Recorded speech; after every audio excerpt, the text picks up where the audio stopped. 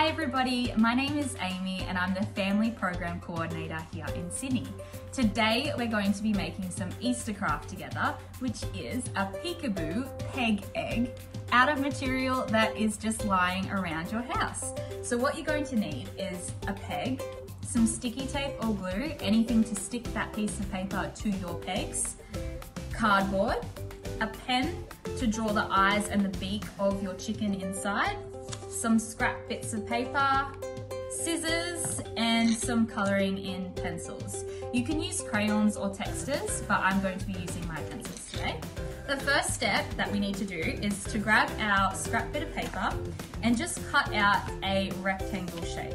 Doesn't have to be too neat, just as long as it is a rectangle. So what you're going to do is you're going to sketch around the corners, just an egg shape. So like it's gonna look like that. And then you're going to grab your scissors and just cut out that shape quite neatly. If you need help with this part, do get it because um, we don't want you hurting yourself during this process. So that is the egg shape there.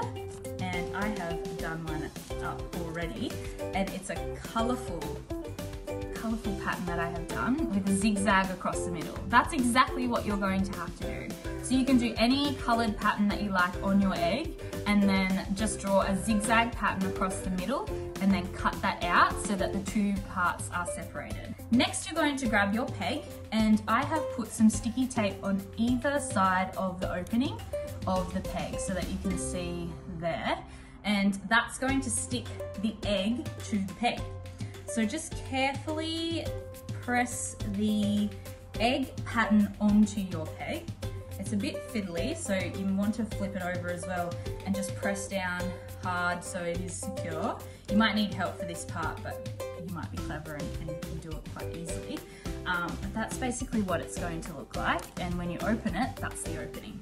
Next thing, you're going to grab your cardboard and you're going to cut out the tiniest rectangle of cardboard like so.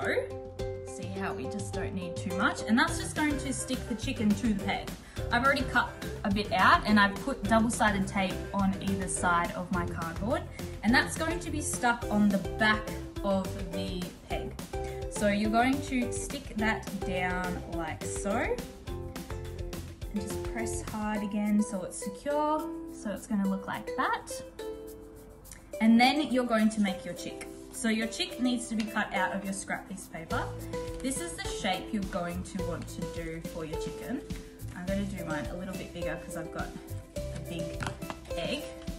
So that's the shape that you need for your chicken. And then on your chicken, you're going to draw the eyes, which I just do two circles, and then a triangle for the beak. And then I put fun eyebrows on mine because I feel like it needs a bit of character to it. So that's how you draw your chicken. And I've done one previously where I have colored it in yellow. So you can do yours any color you like, but I've gone with yellow for mine. So then you grab your chicken, you then push it against the cardboard that you've already stuck to your peg, and then voila, you have your finished peg egg product. So you can obviously do as many as you like using the items around your house. Hope you've had fun uh, learning how to make a peekaboo closed peg egg uh, and stay tuned for more sessions coming your way. See you!